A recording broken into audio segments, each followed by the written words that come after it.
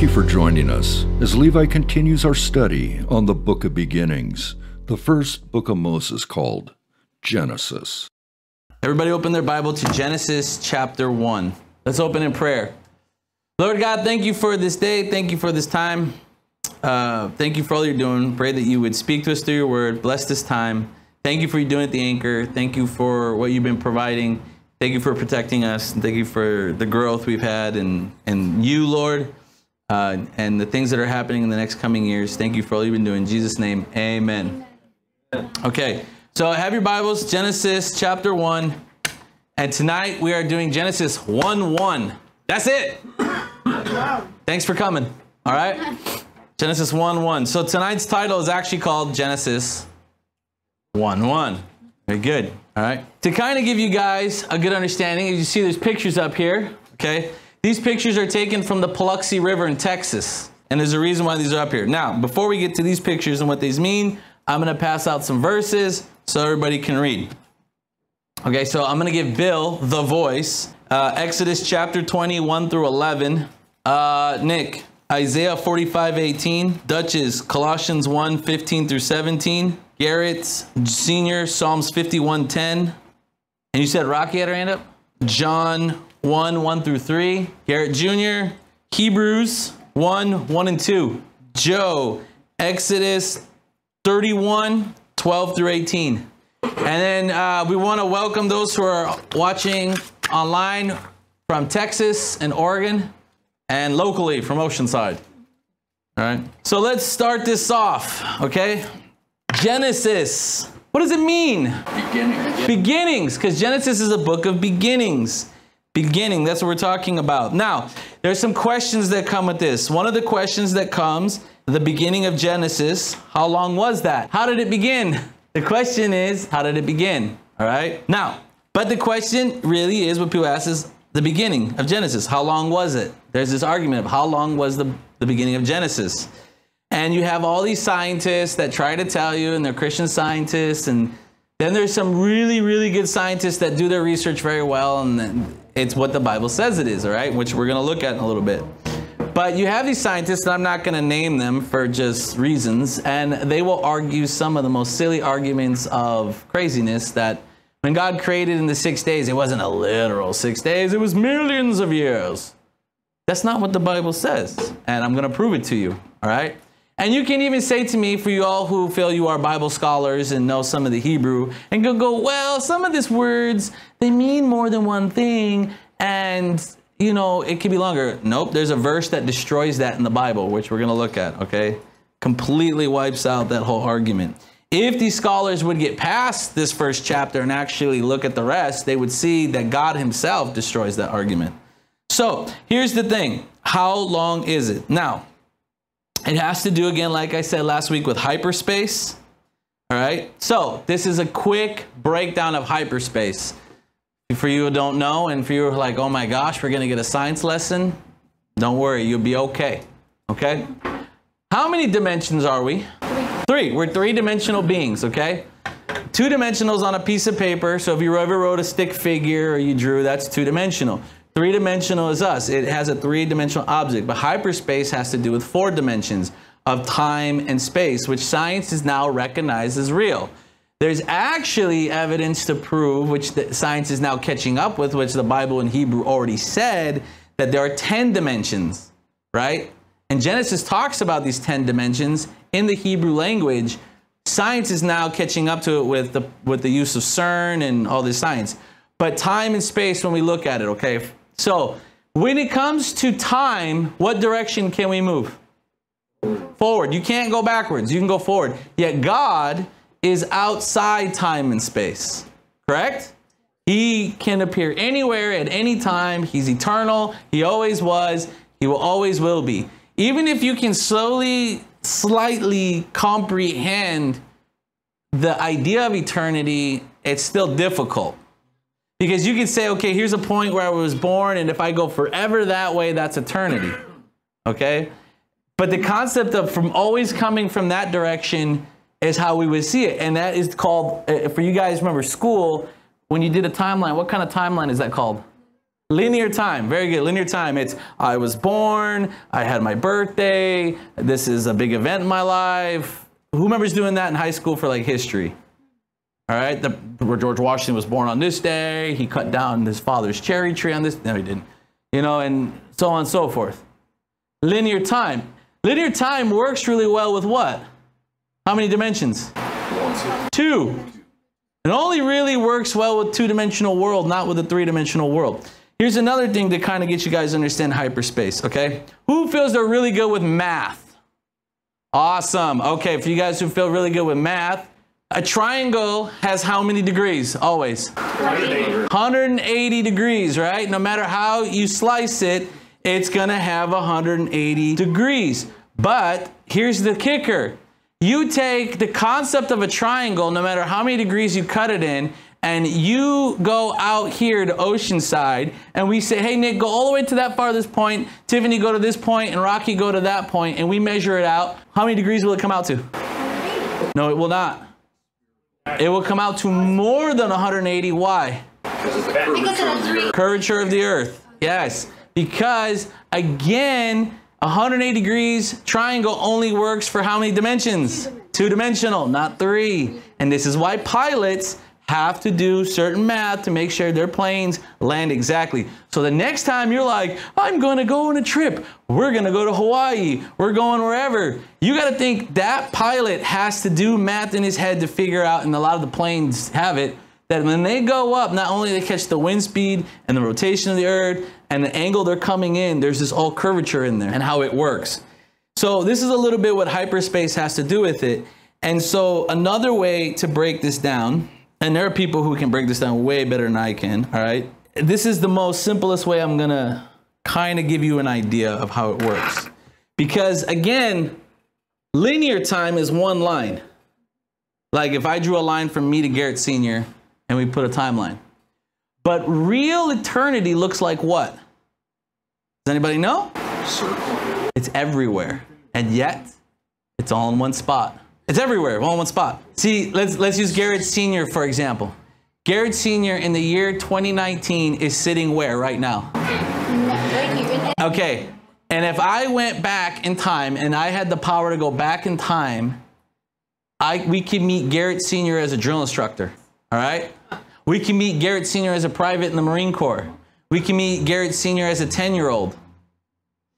Yet, the concept of hyperspace and real eternity is that Garrett Sr. exists in all those spots at the same time.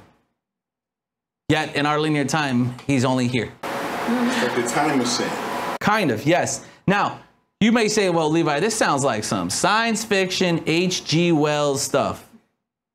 Well, Ephesians tells us what? We're already seated in the How are we already seated in the heavenlies among the throne if we're seated in the anchor in 2019? Because it's already done. Because God is outside time and space. Here's another way to look at it, and this is going to be a little rough because I can't really show you on a diagram, but I will try to show you the best I can with this, okay? So let's say, for example, so Mark's sitting over there. We got Katie sitting right here, okay? And let's use Tony right here. Let's say those three are all right there. So let's say right here where this piece is that says in Hebrew shalom, this is the spot where God is in, in time, in our understanding of time. Okay, Mark lives back in the 1500s and he is an explorer that is convinced that the world is round and he should go to explore it, right?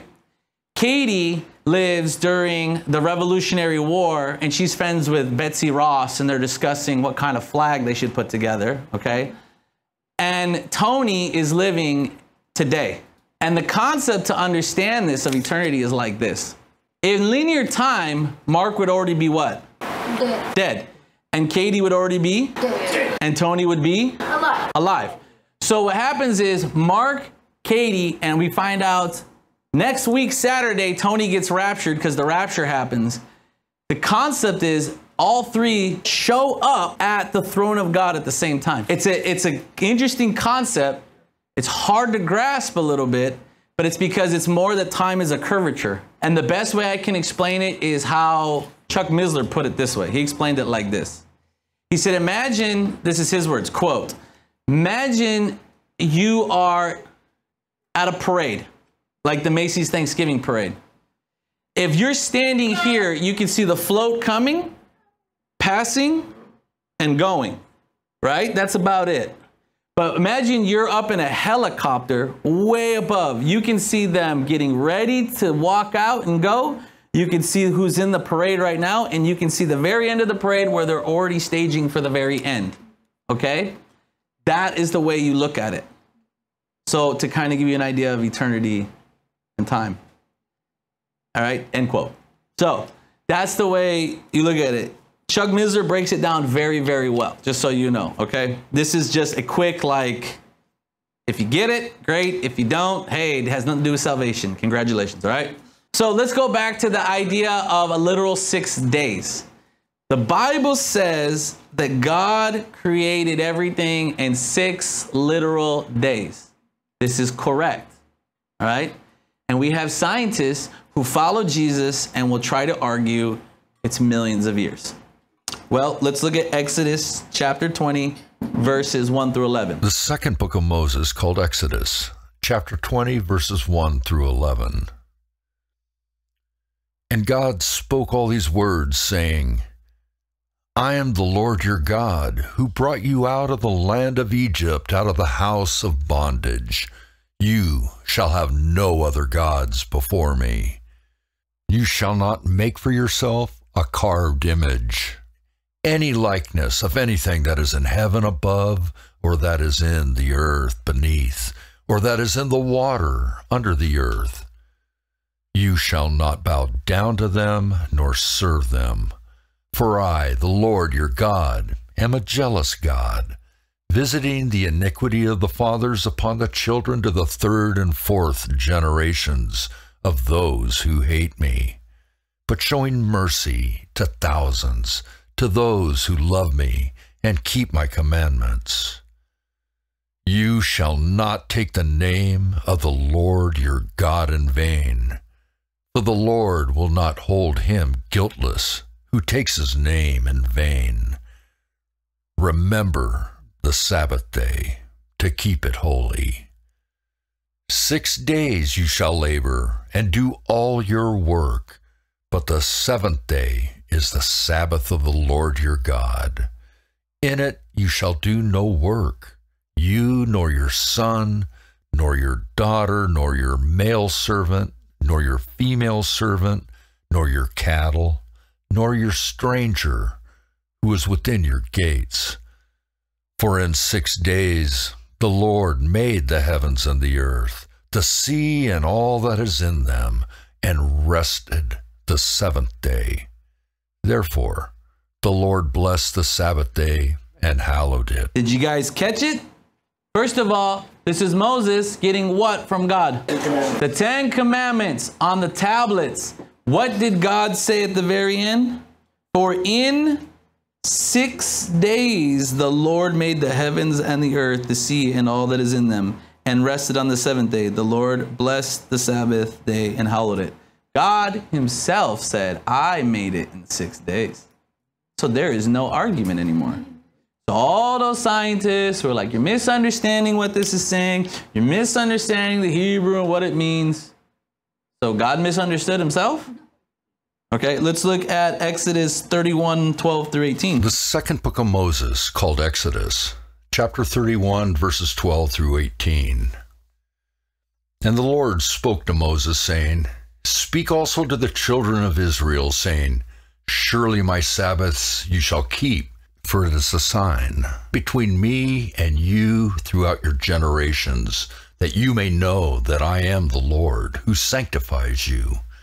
You shall keep the Sabbath, therefore, for it is holy to you. Everyone who profanes it shall surely be put to death. For whoever does any work on it, that person shall be cut off from among his people.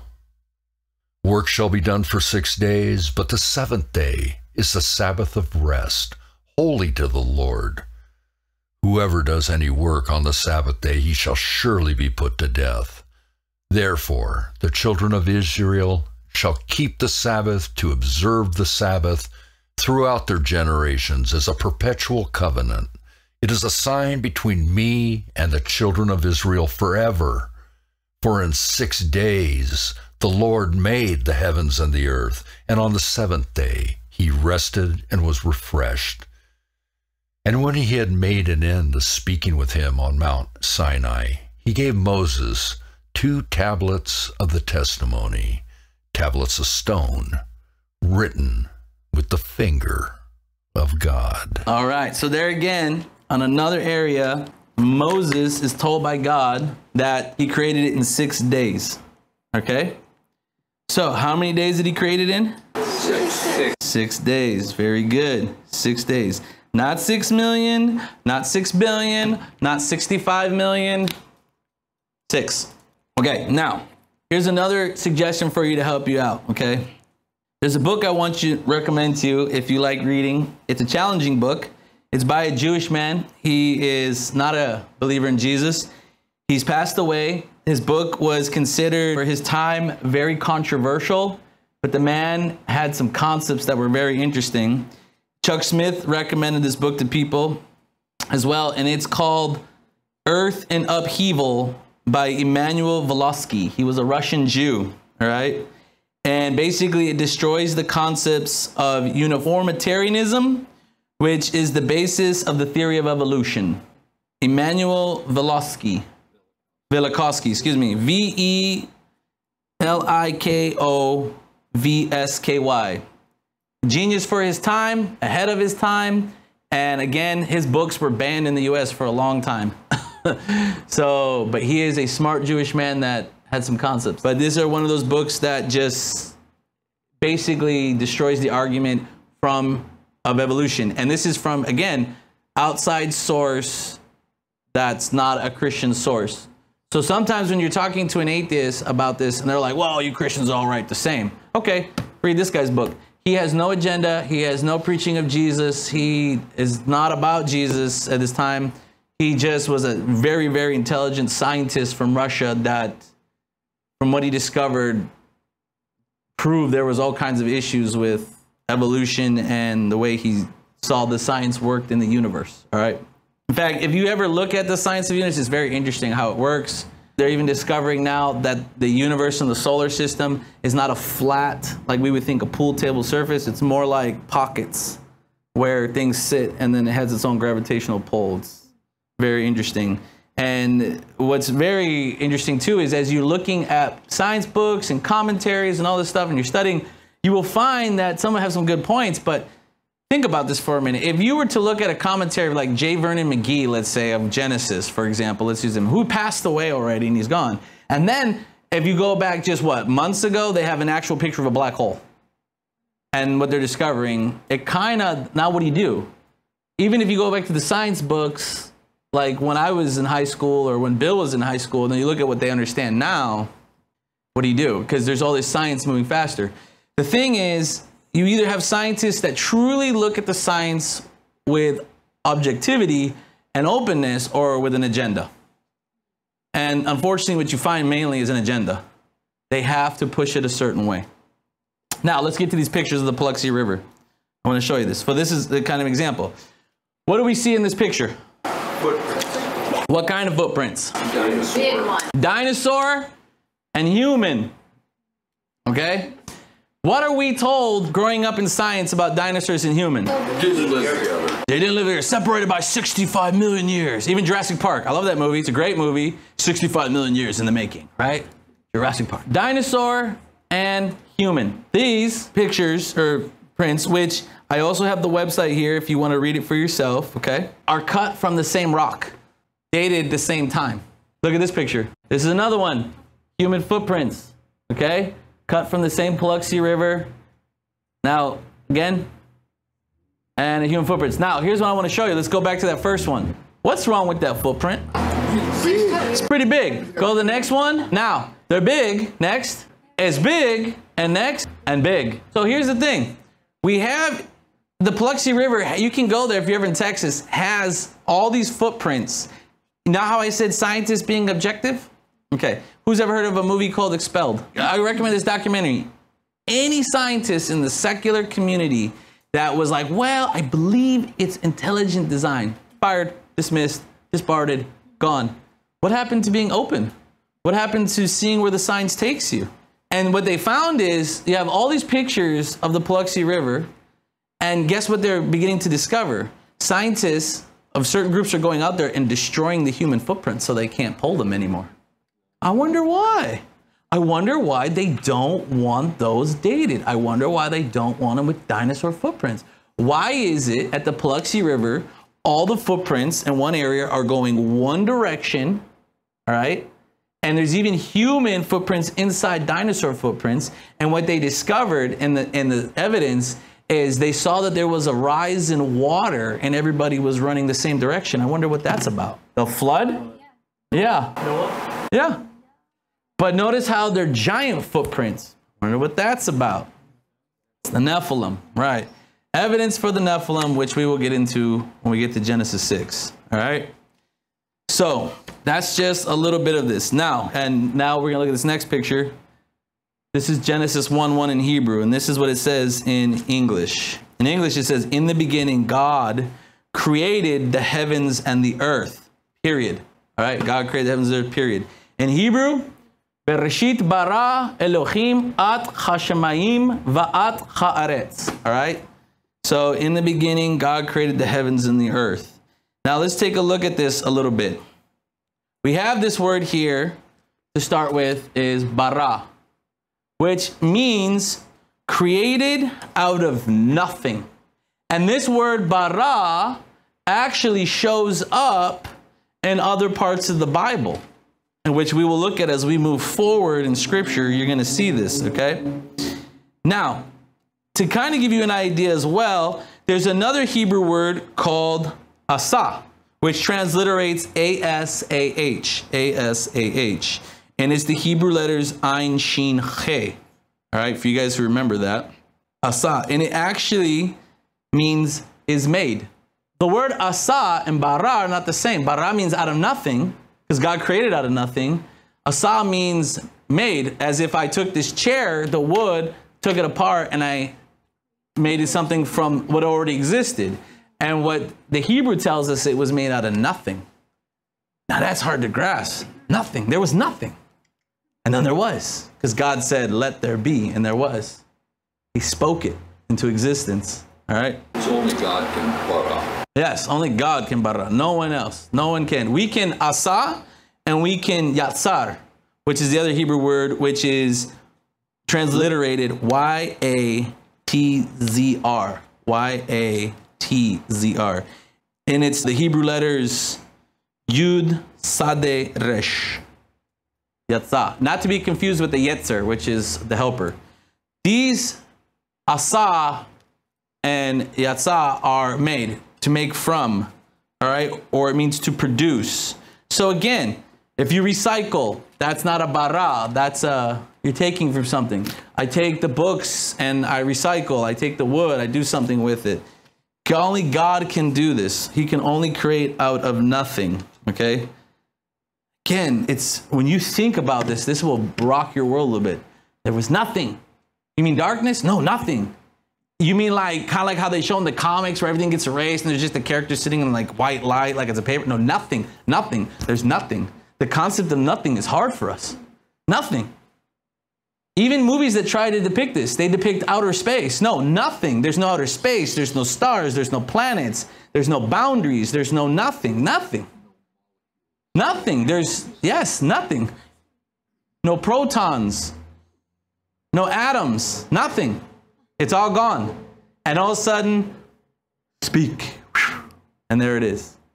Hard to grasp. Now, the other part about Yatsar is about like a hand working in the clay.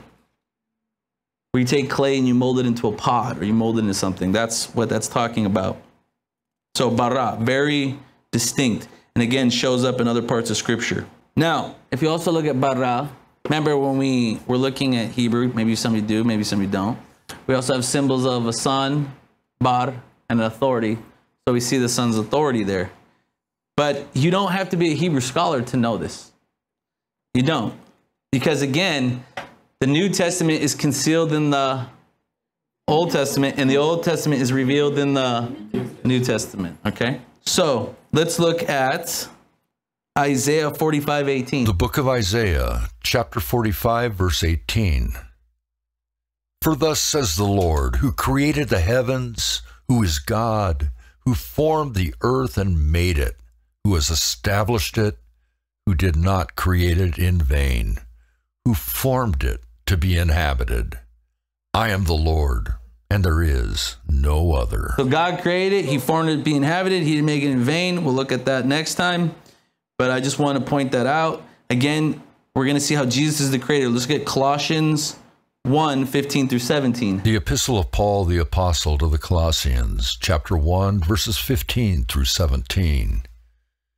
He is the image of the invisible God, the firstborn over all creation.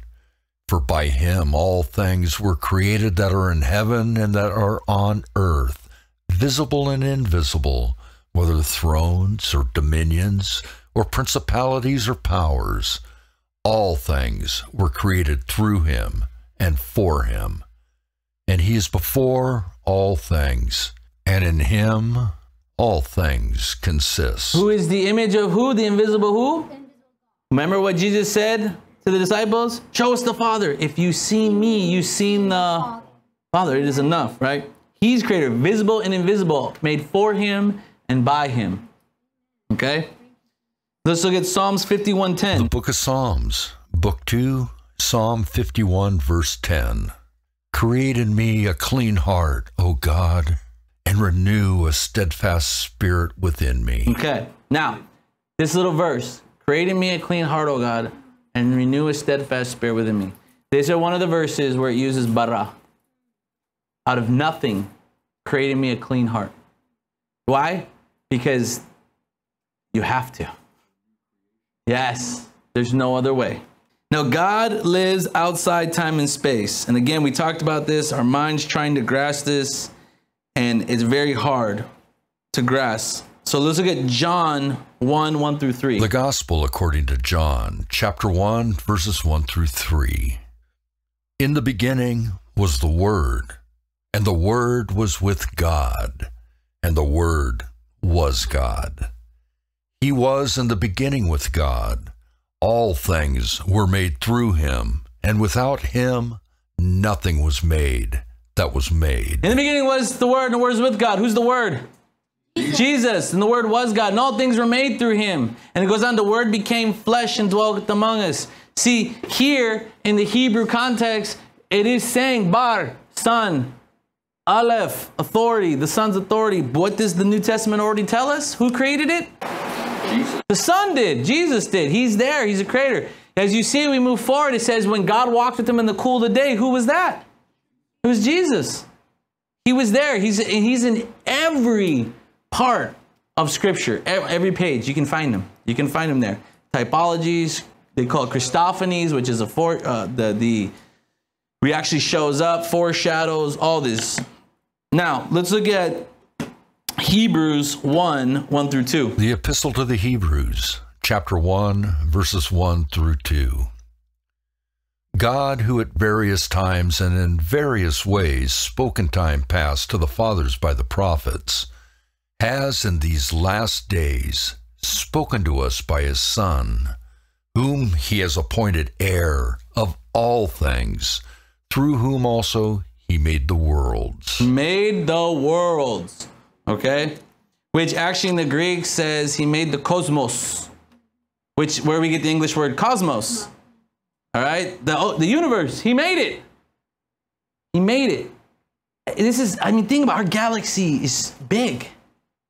Our universe is bigger. He made it. It's massive. Now, here's where it gets really interesting and fun. Okay? For some of you, you're going to love it. For some of you, you're going to look at me all sideways. There's a reason why we're looking at this. It's very important, this breakdown, to understand. First of all, this is not translated in English at all. At. And this is the beginning and end, the Aleph and the Tav. When you read in Revelation, I am the Alpha and the Omega, I am the Aleph and the Tav.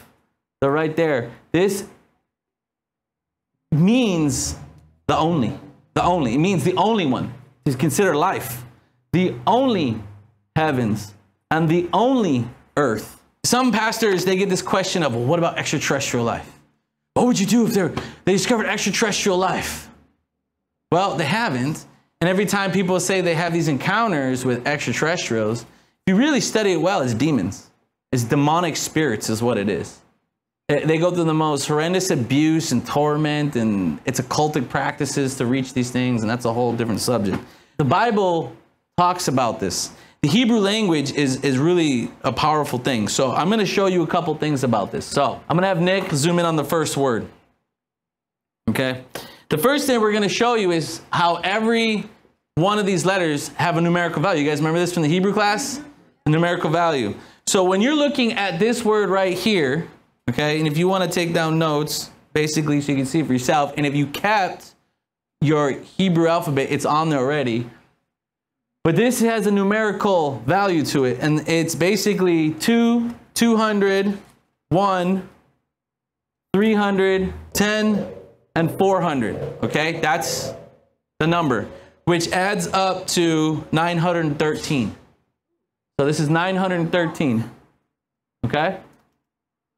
913. So it has a numerical value. If you look at the next one, it's 2, 201. 2, 201, which comes out to 203. The next one, Elohim, it has 1, 30, 5, 10, and 40.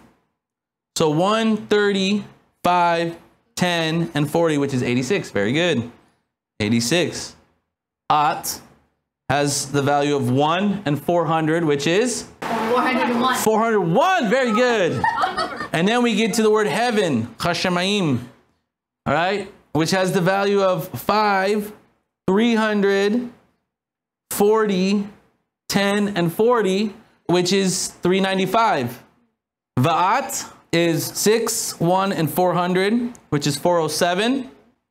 And the last part, which is the word for the earth, is 5, 1, 290, which gives us 296. Now, when you add up all that 296, 407, 395, 401, 86, 203, and 913, what do you get? It's okay, I did it for you. You get 2,701. 2,701. That's what you get. 2,701. That is the value of the entire sentence of Genesis 1 1. The Bible also has a lot to do with prime numbers. There's a lot of prime. 2,701 is 37 times 73. It's 37 times 73. Huh? So they're mirrors. It mirrors, yes. So their prime numbers is 37 times 73. They mirror. 3773. 3773. What you also find is 37 is the 12th prime number, and 73 is the 21st prime number. Again, a mirror. 12, 21. Now, let me ask you guys this question. Do you think this is an accident? Do you think this is an accident that you're seeing prime numbers that mirror each other in the sentence? This is a mathematical equation in the first sentence about God creating the heavens and the earth. Okay? And so when you look at it, 3773, you also can break it down of 7 times 7 times 77, which all those numbers mean what? Complete. Seven. Perfection and completion. Now it gets a little more interesting. So, everybody take a deep breath. All right, let it out. All right, you can feel the steam already rising. So, again, the entire value of the sentence, 2,701, is the prime numbers 37 times 73, the 12th and the 21st prime number, 3773, 7 times 7 times 77. And those numbers in scripture mean completion and perfection. And this is in the first sentence of the Bible about creation. What did Isaiah say? I, the Lord, make the world to be inhabited. I do not make it in Chaos. or vain. but in perfection. Okay, now, here's the other kicker with this. It all starts to add up here a little bit. This word here, when you take this word here, bara, and you connect it to the word Elohim, so we got to zoom out for this. This word here, so bara and Elohim, you connect these two words together mathematically, you get 999. 999. When you take the word for creation, bara, and the word at, okay, and you take the word for heaven, hashemayim, and you add those up together, it's 999. 999 in scripture, anybody want to take a guess what it is? And no, it is not the mark of the beast. Huh? Infinity. Infinity, very good. It is infinity. Infinity. So, Bereshit, in the beginning, God, infinity. Created the heavens, infinity. Okay, what were the English words again? That, The English words are in the beginning, God. In the beginning, God. Infinity. those add up to 999. in the beginning God. In the beginning, God. The next part. Created the heavens. Infinity. God. In the beginning, infinity. God always was and is. He is. He was. He is to come. Infinity. Infinity. Infinity. Again, accident? No. No. Well, this is written by Matt. So I mean, they they they got together and they put this together. Man, you write a book with mathematical equations and another language in it, and then you come see me. See, even Nick's over there trying to be challenge accepted, and he can't. It's impossible. You can't unless the Lord has done it. Now, here's where it gets even better. I love this. All right, so that's just infinity. Now, you take God, Elohim, God, okay? Which, by the way, what's up with that word God? It's plural. El, God, Elohim, plural. Plural. Oh, what's that about? The Trinity. Very good. So you take the word God, Elohim, okay? And then you take the word for heaven, Hashemayim, all right? And you take and the. So basically, God and the heaven, and the heavens, and you get 888 mathematically. 888 mathematically. What is 888 in scripture? It's Jesus. Yeah. It's the numerical number for Jesus. 888, the numerical number for Jesus. So God and the heavens points to who? Jesus. Again, accident? No. No, not an accident. Last one, and then we're going to move on to the next part. You're like, this is already too much. It hurts. Elohim, God, the heavens, the earth. God, the heavens, the earth. Okay? Mathematically, Seven, seven, seven. 777. Very good. Which is what? Complete. Perfection and holiness. 777 is perfection and holiness. God, the heavens, the earth, perfection and holiness. Mathematically, this all points to a perfect creation.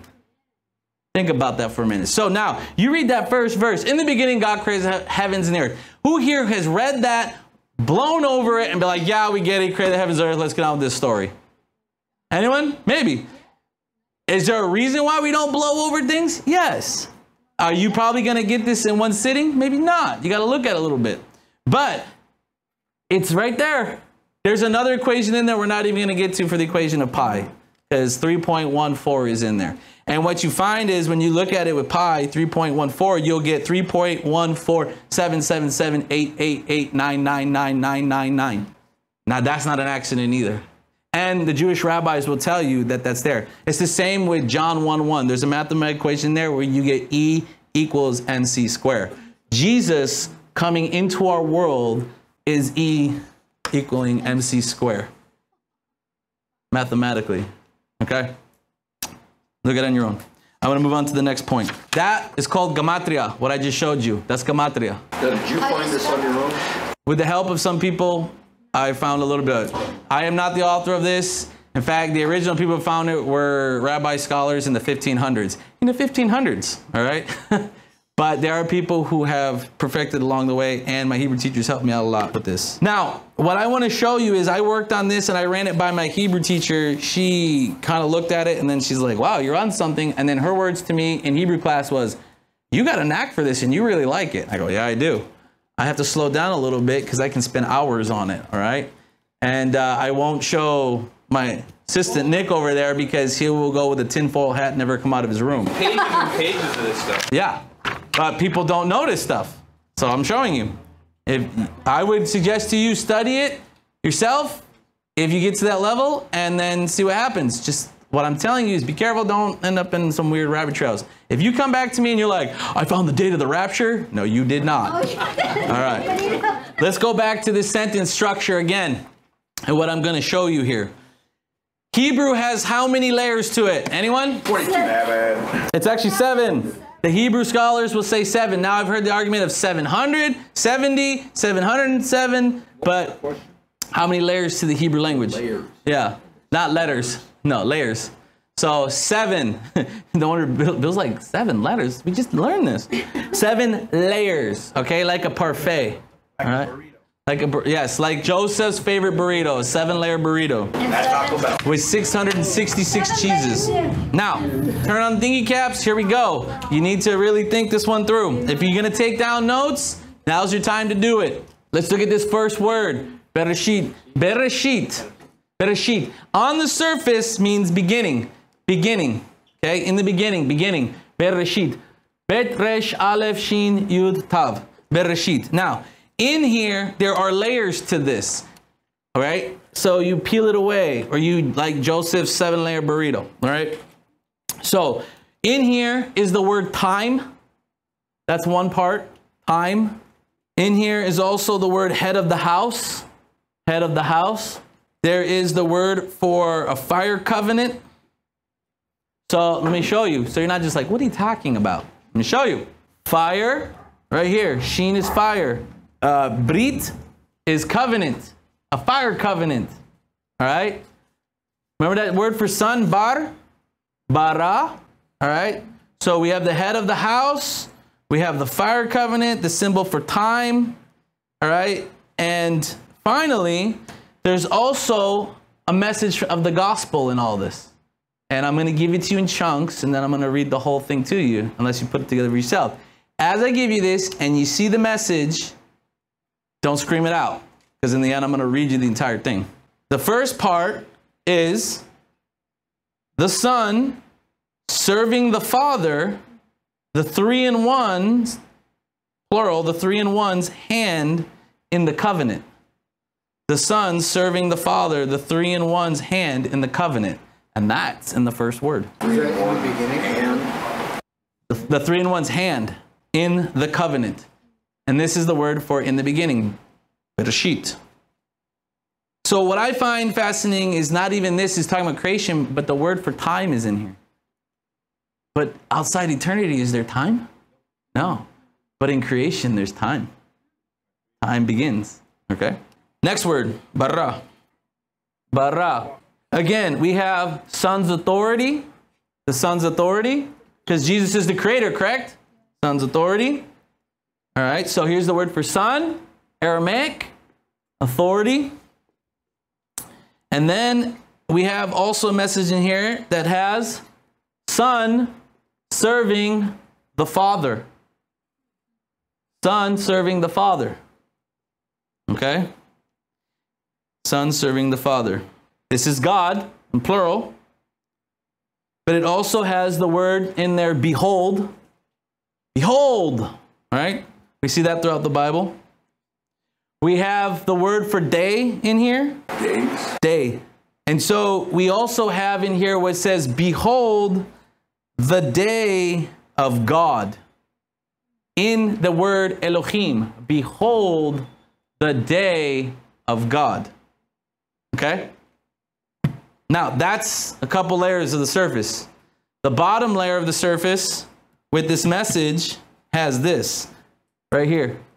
And for the word for God, Elohim, one of the titles. The man with the Holy Spirit in the day of God. the man with the Holy Spirit in the day of God. Okay, next. Father, covenant. Father, covenant. So basically, it says Father's covenant. Next, Hashemayim, heavens. We have the word for space in here. Behold, and this is a really cool one. If I remove these letters and I have mem, yud, mem, what word is that? Waters. Waters. And this is an article for the, and the sheen represents what? No, no, but three and one, but it represents fire. Fire water. So the word in heaven is fire water. And the rabbis teach this too, whether they believe in Jesus or not. Fire water. All right? What's plasma? Well, there's a theory that The fourth state That- of from water, all the elements Mm-hmm. can be created in a plasma environment, In a plasma environment. superheated, But all the elements. And it is a theory because God said He created out of nothing. So we have fire water. We also have this message in there. Ready? This is the message in here for heaven. The man with the Holy Spirit, the man with the Holy Spirit through fire and water. The man with the Holy Spirit through fire and water. The man with the Holy Spirit through fire and water. Next. This one's a little bit simpler. It has the symbol of and, Father, covenant. What's the word? This is va'at. This would be considered and, and it would skip this part, the earth. So there is no translation here for this. So this would be and Father's covenant, but it also has the nail, the Father's covenant. The nail, the Father's covenant. Next, the last word, earth. Haretz. This is the symbol for matter. Time, space, matter. Let me say it again. Time, space, matter. Hmm.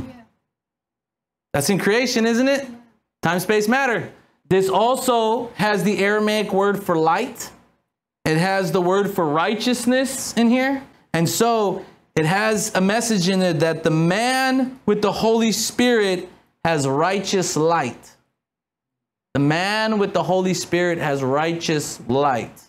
Okay, so when you read this whole thing across the board, looking at the layered message in here, this is the really cool thing you get. The Son serving the Father, the three in one's hand in the covenant, the Son serving the Father, the man with the Holy Spirit in the day of God, the Father's covenant, the man with the Holy Spirit through fire and water, the nail, the Father's covenant, the man with the Holy Spirit has righteous light. We get that whole message in the New Testament. Jesus died to set us free. What does the Bible say? Before the foundations of the earth, Jesus was what? Crucified. The message is in there. Let me read it again.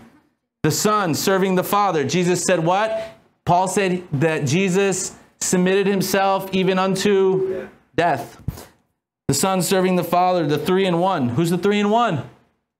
The Trinity's plan, the three in one, God's hand in the covenant that they made. The Son serving the Father, again, submitting himself to the Father. The man with the Holy Spirit in the day of the Lord. Who's that? No, who's that? If we have the Holy Spirit in the day of the Lord, who sealed us? That's us, sealed by the Holy Spirit for the day of judgment, the day of the Lord, the day of God. The Father's covenant, the man with the Holy Spirit. Again, who? Us. Through what? Fire and water. What's that about? Fire and water. The flood and the flood. No. Well, Baptism. it's the flood first and fire. Baptism. Baptism. Baptism.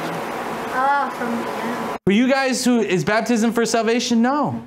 But when we follow Christ, the Holy Spirit comes upon us. We get baptized in the fire. And what do we do? I want to be baptized, man. Let's go on the beach, baptize me. I'm dead. I'm buried with Christ, risen anew. The old Levi's dead. And that's why the fire was on them except the presence of the Lord. Correct. Correct. The man with the Holy Spirit has righteous light. Because every good gift comes from the Father of Lights. lights. Ah, there it is, hidden in the message. But yet, the New Testament told us that already. Because the mysteries revealed were already revealed. What was the greatest mystery revealed for us? Jesus is the Messiah that would come and die and set us free from the foundations of the earth, from beginning, from eternity. It was set in motion. And there are many, many other mysteries like this. So I took this to my Hebrew teacher, I showed it to her, and she was like, Whoa, I love it. And I have done this for Genesis 1 2, 1 3, 1 4, and I'm still working on it. It's going to take me a while. Do I want to publish anything? No. Because the biggest thing, and people are like, dude, you got to publish this. You got to do a commentary, blah, blah, blah, blah. Even my friend Ruben's like, bro, you should really write a commentary. Freely I have received, freely I want to give. That's why I love this place. It's all free. Free, free, free. The Lord provides. If you take the time, you'll find it. And what did I tell you last week? If you find something that seems like a contradiction or a mystery, amen, because you should do what? Dig further because the Bible will answer it because there are no contradictions. There's just these awesome mysteries. Every time someone's like, I found a contradiction. Did you really? Did you really? Well, in the Gospel of Matthew, it says Jesus was leaving Jerusalem in this situation. And then Mark says he was entering Jerusalem. See, it's a contradiction. Is it? Is it? Because no, it actually, when you read it, Jesus was leaving upper Jerusalem and entering lower Jerusalem. That would be like me saying, Fernando drove to the Carolinas. Fernando entered the Carolinas. Fernando left Carolina. What would he do? He went into South Carolina and left North Carolina. Are they both the Carolinas? North Carolina, South Carolina? Yeah, I'm in the Carolinas. You see what I'm getting at? It's not a contradiction. It's Upper Jerusalem, Lower Jerusalem. As you look at this, there is this. This is why tonight is only Genesis 1 1. Yes. All right. A beautiful, beautiful message put in here. Next week, we will do Genesis 1 2. All right. That's why my wife is joking that the rapture will happen before we finish this book. All right. So, not every study will be one verse, some will be maybe three. But but I'm telling you right now, it's going to be Genesis 1 2 and then Genesis 1 3 through 5. That's where I'm at. Yes.